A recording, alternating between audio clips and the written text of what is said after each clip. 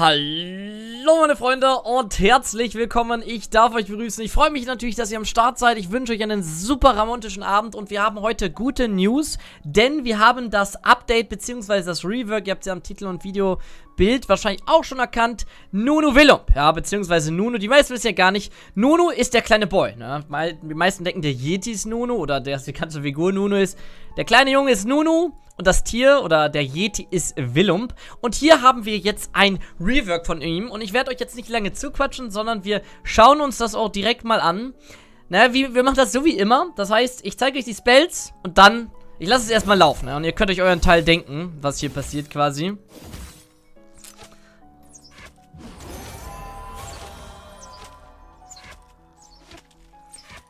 Ja, das war's eigentlich. Also seine Passive, meine Freunde, ist so, dass wenn er angreift, dann kriegt er so einen Windstoß um sich rum, den Call of the Freljord, so heißt seine Passive. Dieser hat zwei Effekte. Der eine ist, dass seine Auto-Attacks AOE-Damage machen. Ja, wie man sieht hier, Dadurch kann er halt jungeln. Ne? Vielleicht kann er so auch auf der Toplane gespielt werden, aber auf jeden Fall kann er jungeln, weil er AOE-Damage hat. Der alte Nunu hatte gar keinen AOE-Damage, fällt mir gerade ein, oder? Nee, hat er nicht gehabt. Außerdem hat dieser Effekt, beziehungsweise die Passive einen weiteren Effekt, denn wenn ein Verbündeter in der Nähe ist, dann geht dieses Horn ja, auf einen ja, auf einen Verbündeten eben, der in der Nähe ist und der bekommt einen Attack Speed Buff. Dieser Buff geht immer auf die Person mit dem highsten Attack Speed, wenn man das so sagen kann. Das heißt, wenn du halt da eine Fiora hast und einen Varus mit 2,10 Attack Speed, dann wird das immer der Varus bekommen oder zumindest halt nicht der AP Mage. Macht also schon irgendwie Sinn und gibt ihm eine gewisse, ja, erstmal eine gewisse Utility, aber auch die Möglichkeit, können wir schon mal vormerken, ihn vielleicht auf der Support-Position zu sehen. Fangen wir an mit Q und das ist sehr, sehr leicht zu erklären. Denn diese Q ist eins zu eins das Shogat-Essen in, ich hätte fast gesagt schwach, aber eigentlich ist es gar nicht so schwach. Also dieses Shogat, also ja, es ist schon schwächer, ne? Es ist ja ein Spell. Dieses Essen kann er auf alles machen. Bei Monster macht es 2 Damage. Wir sehen hier an diesem Viech, dass es 1000 Damage bekommt, ja? 1000 Damage. Wieso ist das hier auf 480p? Können wir auch mal ein bisschen höher stellen, wenn es denn funktioniert, ja. Na, das heißt, das sind 1000 Damage und deswegen meinte ich, ist das so wie Shogat, weil der macht ja auch 1000 True Damage, ne? Vielleicht scale das Ganze noch mit AP, das weiß ich nicht, wissen wir alle nicht. Auf jeden Fall ist es so, dass er sich heilt, ja, das Healing von ihm wird auch höher, je weniger HP er hat. Das heißt, wenn er richtig wenig hat, heilt er sich mehr. Und das Ganze macht True Damage an Monstern und Magic Damage an Champions. Das heißt, hier sehen wir, klar, das ist nicht ganz so viel und nicht so viel wie eine Sugar Ult, aber ist auch, ja, nur ganz normales Fressen. Aber kann es halt echt, ist eins zu eins derselbe Spell. Ja, ich meine, klar, du wirst bei Shogat noch größer und so. Ich meine, bei Nuno wäre das auch lustig, wenn du größer werden würdest und dann einfach so ein gewaltiger Yeti da rumlaufen würde. Ja, wäre jetzt super lustig. The biggest fucking Snowball ever. Ja, das ist, äh... Das ist halt mal wirklich was richtig Lustiges, muss man sagen. Ich wollte gerade fast schon sagen, was komplett Neues, aber das ist gar nicht richtig. Denn im Prinzip, ganz grob von der Mechanik ist es halt wie Sion World, ne? Ganz grob. Also erstmal, was machen wir? Er startet das. Er ist ein kleiner Schneeball. Wir sehen, äh, er ist sehr, sehr langsam am Anfang. Man müsste überlegen, also er ist langsam und wird mit der Zeit immer schneller, je größer der Schneeball auch wird. Die Frage ist, ob er ganz jetzt, wo er anfängt, hat er normale Speed oder ist er selber langsamer als normal? Das wäre interessant. Er kann sich natürlich währenddessen bewegen. Er überrollt sämtliche Minions und er macht Damage an Beziehungsweise das erste Ziel geht auch gegen Wände, wird dann hochgenockt, also das erste Champion-Ziel oder gegen Wände etc. Dann macht das AOE, knockt den Gegner hoch. Ich weiß gar nicht, ob alle hochgenockt werden, das können wir mal sehen. Na, ob hier alle Boys... Ja, alle Boys werden hochgenockt, kann man hier tatsächlich sehen. Und der Damage wird ebenfalls höher, je länger die Kugel rollt. Das Wichtige bei dieser Kugel ist, dass Willump die Kugel auch werfen kann. Beziehungsweise er kann sie nicht werfen, sondern er lässt sie mehr oder weniger los. Er sagt so, hier, ne, los, later, so nach dem Motto. Das heißt, die Kugel rollt weiter ohne ihn und dadurch ist sie wahrscheinlich ein Stückchen schneller, das können wir gleich auch nochmal sehen. Und da kommen wir aber nachher nochmal drauf zurück.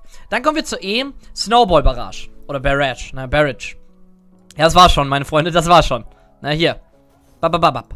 Er wirft Schneebälle auf ein Ziel und die, wenn er, ähm, einen Gegner damit trifft, dann werden die als Schnee Snowbound, also wahrscheinlich eingeschneit oder irgendwie sowas vollgeschneit, markiert. Ja, das sieht man. Der ist voll markiert. Das Ding ist, das kann er dreimal aktivieren. Aber wenn ähm, dieser ganze Effekt endet, das war jetzt einmal, dann werden alle Gegner, die als vollgeschneit markiert sind, ich weiß nicht, ob es vollgeschneit ist, ihr könnt ja gerne sagen, werden geroutet. Das heißt, jetzt sehen wir es nochmal ganz gut. Also jetzt, also. Jetzt, ne, er kann hier werfen, er kann da werfen, drei, dreimal kann er werfen. Und jetzt routet er alle Gegner, die vollgeschneit sind. Ne? Ist eine ganz einfache Mechanik. Die Frage ist, ob das Point-and-Click ist. Ich denke, es ist ein Skillshot. Ja, muss ein Skillshot sein. Es wird schon ein Skillshot sein. Und dann kommen wir schon zur Ultimate, meine Freunde. Ne? Das geht hier echt ratzfatz, muss man sagen. Und die Ultimate ist eins zu eins genau dasselbe. Abgesehen davon, dass es super cool aussieht, weil er diese Kälte in seinen Mund reinzieht. Ja. Und er bekommt ein Schild. Er bekommt ein Schild. Ne? Alle Gegner werden, während er länger channelt, mehr geslowt. Außerdem macht er mehr Damage, wenn das Ganze durchgechannelt ist. Und er kann, wie es hier auch steht, ne, Fog of War, also Nebel des Krieges, oder wenn du im Busch bist, wird Nunu nicht aufgedeckt. Also im Prinzip ist das 1 zu 1 genau dasselbe, was er vorher war, nur dass er ein Schild bekommt. Wobei das Schild interessant ist, aber wir gucken uns erstmal einen Clip an, Leute. Ja, gucken wir uns erstmal einen Clip an. Hier sehen wir nämlich ein bisschen Gameplay tatsächlich.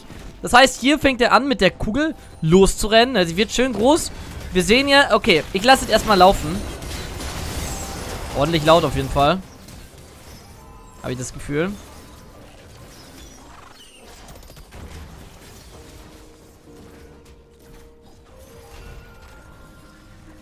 Kommt noch ein Rice-Teleport rein und ein Snack, das sehen wir. Da kommt noch mehr, aber wir können ja das mal kurz rekapitulieren. Denn ich sehe ja viele Sachen, beziehungsweise ich möchte mal alles analysieren. Das heißt, grundsätzlich sehen wir erstmal, hey, es gibt keinen Block, ne? Das heißt, diese Kugel ist natürlich jetzt die Frage, ob das nur für Verbündete zählt. Ja, klar zählt es nur für Verbündete, weil Gegner werden ja sofort genockt. Das heißt, man kann selbst durch die Schneekugel. Außerdem müssen wir sehr, sagen, er ist Level 9. Ich gehe mal sehr stark davon aus, dass er die Kugel nicht gemaxt hat. Ist schwierig zu sagen, kann man jetzt noch nicht... Ist nett, aber das Ding ist, sie rollt ja auch über Minions. Das heißt, wir sehen jetzt, hier ist ein... Hier sind drei Caster und ein Full-Life-Minion. Er rollt da drüber, die Caster sind alle weg und der Nahkämpfer hat noch so ja, 30%. Ist jetzt wirklich die Frage. Ich glaube, wer ist denn da noch auf der Lane? Ist das ein Supporter oder ist es... Ähm, Alistair, okay. Jetzt ist halt wirklich die Frage, was hat er gemaxt? Hat er im Jungle seine Q gemaxt oder war das eine Level 1W? Weil, worauf ich hinaus möchte, wenn das wirklich eine Level 1W war, halt ziemlich hochgerollt, dann ist das ein extrem guter Wave Clear und dann kann man damit halt vielleicht auch in der Mitte oder Top Lane einfach mal die Waves clearen.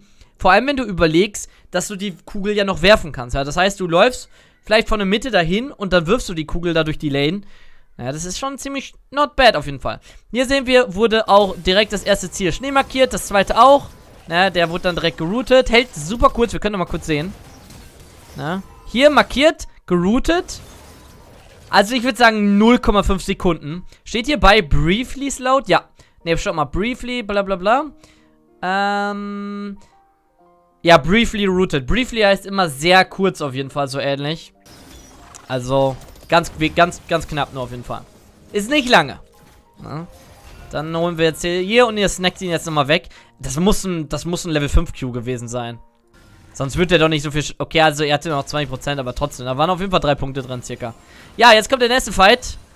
Na, das ist auch äh, ganz lustig auf jeden Fall, muss man sagen.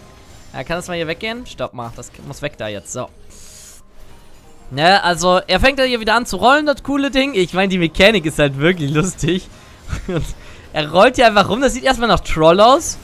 Ich finde den Clip echt passend. Und da hat man gesehen, das letzte Stück, dass er ihn weggeworfen hat, ja. Also er hat ihn losgeschickt. Ich finde, was man hier gut sieht, ist, dass du es halt... Es ist sehr clunky. Du kannst es übel outplayen. Ja, wenn du drum rumläufst quasi. Ja. Sogar der, hier, wir können nochmal die Hitbox kurz so ein bisschen analysieren. Ich möchte immer alles raus. Hier können wir es schon mal sehen. Jin wird noch nicht getroffen von dieser Kugel. Also es ist super close anscheinend. Und auch hier, ich weiß nicht, ob es buggy ist ein bisschen. Eigentlich müsste er doch getroffen werden. Sieht aus, als würde die Kugel... Natürlich ist es schwer, weil wir von vorne drauf gucken. Würde man von hinten drauf gucken, steht er vielleicht noch nicht ganz an der Kugel dran. War auf jeden Fall sauknapp, kann man sagen. Und dann haben wir unten nochmal die Situation. Schöner Dive, ne? Kommt ihr mit der Kugel an, knockt den Gegner hoch, hat kein Damage gemacht, weil das Schild dabei war. Jetzt fängt er gleich an, seine Kugeln zu werfen, oder auch nicht. Ja, hier kommt Absolute Zero. Ist ganz okay, snacken. Ähm. Ja. Achso, ich muss gerade über, ich glaube auf der Passive war noch was, lass mal, lass mal, genau, stimmt, das habe ich vollkommen vergessen, Leute. Auf der Passive fällt mir jetzt gerade komplett ein. Die Passive war nämlich noch, dass wenn ihr, also das funktioniert gegen Enemy Champions, Large Monster und Strukturen, dieses Ganze, was ich erzählt habe mit dem Horn. Und wenn ihr die angreift, bekommt ihr zusätzlich Attack Speed und Movement Speed, ja. Attack Speed und Movement Speed, dadurch könnt ihr schneller Jungle clearen. Nach ein paar Sekunden bekommt ihr dann, ähm, dieses Horn, oder ihr bekommt halt diesen Horn-Effekt, womit ihr AOE-Damage macht und einen Verbündeten, ja, das Dings gibt. Wir können mal kurz die Skins gucken. Ne, Skin, ähm, müsste ich mal hier vielleicht ein bisschen, bisschen, bisschen, bisschen kleiner machen. Dann kriegen wir das auch. Na, die sehen ja, also ich muss sagen, der, in, der normale Skin sah ja schon ziemlich cool aus, ne? So, das hier ist der erste. Ne? Gucken wir mal, was wir hier haben. Das ist Oh, der sieht, der sieht richtig cool aus, Leute. Das ist, was ist denn das hier überhaupt? Ist das Mecha, äh, Nunu? Steht gar nicht dran, oder? Sieht auf jeden Fall ziemlich crazy aus. Der sieht super krank aus. Was ist das? Dann haben wir, ja, Troll. Sind das neue Skins? Ach, das ist dieser komische Super-Troll-Skin. Der sieht jetzt wahrscheinlich richtig cool aus. Hier dieser, dieser Fress-Nunu oder wie der heißt. Also, der war richtig, richtig bad. Aber ich glaube, der wird unglaublich gut. Guckt euch das an. Das ist der das ist der Dream von allen weiblichen Frauen, Spielern. Ähm, also, ne, die stehen ja voll auf sowas wie Nah und dieses ganze Zeug, ne? Dann haben wir noch Space Nunu. Alter, sind das neue Skins oder kenne ich die einfach alle nicht? Dann haben wir Uga Uga Nunu. Ne? Kenne ich auch nicht, oder? Bin ich dumm? Den, der ist gleich geblieben anscheinend, zumindest optisch. Hier haben wir noch einen Sweetowski-Skin. Ach, guckt euch mal die Nase an, du. Das ist doch der Traum jeder Frau, dieser Champion. Und dann haben wir noch den, da ist auch alles gleich geblieben. So, wir können ja nochmal ganz, ganz kurz drüber talken. Und zwar, ich denke, wo wird er viable sein? Er wird viable sein, auf jeden Fall als Jungler. Hat ein gutes Kit. Und ich denke sogar eventuell als Supporter könnte er durchgehen. Midlane, ja, also diese Barrage, Snowball, Barrage, Snowball wird schwer zu treffen sein. Kann man überlegen, muss man wirklich gucken. Und Toplane, ja, ich meine, du kannst es überall mal austesten, ne? Ich werde es wahrscheinlich in dem Midlane wieder spielen. Aber die Schneekugel ist halt ein cooler Engage, aber ich denke mal, Sion ist halt schneller, ne? Die Schneekugel ist schon relativ langsam. Was ich mich bei der Schneekugel gefragt habe, ist, wenn du jetzt die Lulu-Ulti bekommst, wird dann die Schneekugel gleichzeitig auch größer. Das wäre interessant zu wissen, mit so einer riesen Schneekugel. Aber was ich auf jeden Fall cool finde, ist, dass sein Kit im Prinzip, das ist immer noch Nunu. Ne, bei Galio war es kein Galio mehr. Was hatten wir als letztes? Akali ist so gesehen nicht mehr direkt Akali. Auch wenn ich das Akali auf jeden Fall sehr, sehr gut finde. Und das hier ist Nunu. Das ist 1 zu 1 Nunu. Er hat seine Ultimate, er kann immer noch snacken, er hat einen coolen Schneeball-Effekt. Und das Coole, was ich an diesen letzten beiden Reworks sagen muss, das waren zwei Champions, die waren komplett Point-and-Click, langweilig kacke. Ne? Du kannst, mit solchen Champions kannst du nicht viel machen. Du läufst dahin, drückst deinen Schneeball, dies, das, super langweilig. Das ist jetzt ein schöner, interaktiver, geiler Champion geworden. Du hast Möglichkeiten mit deiner komischen Schneeballwerfkanone, dann hast du Möglichkeiten mit deiner W, du hast überall Sachen, die du machen kannst. Du hast deinen Root mit dabei, du hast ein Ultimate. Also ich finde, das Kit ist wirklich cool. Ich finde, das ganze Rework hat sich bisher gelohnt. Ich kann es natürlich noch nicht genau sagen. Ihr könnt mir absolut gerne eure Gedanken, wo ihr seht, ah, das ist eine geile Synergie oder was man noch mit dem machen könnte, droppen. Ich wünsche euch was. Bis auf dann.